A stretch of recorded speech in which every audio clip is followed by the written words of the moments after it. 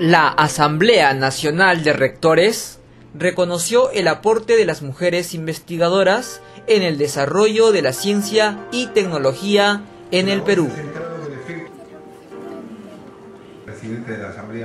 Distinguió también a las personalidades y autoridades femeninas que ocupan cargos públicos y privados. La vicepresidenta de la República, Marisol Espinosa, resaltó la importancia del CONCITEC para el desarrollo de la ciencia y tecnología con base en la investigación.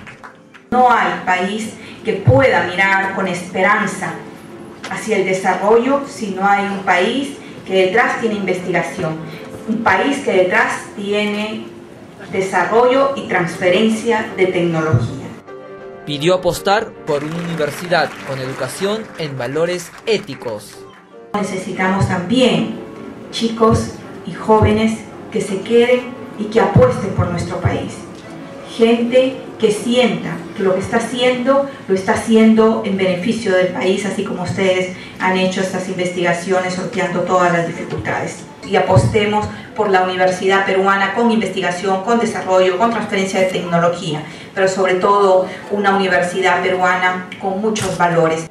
Ana Jara, ministra de la Mujer y Poblaciones Vulnerables, apoyará las investigaciones que se hacen para evitar la violencia de género y rindió tributo a la mujer rural.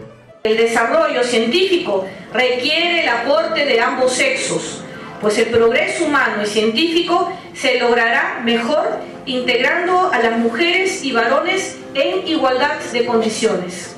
De esta manera se busca motivar y estimular a las profesionales que realizan la labor académica y científica para que continúen por el bien de la sociedad peruana.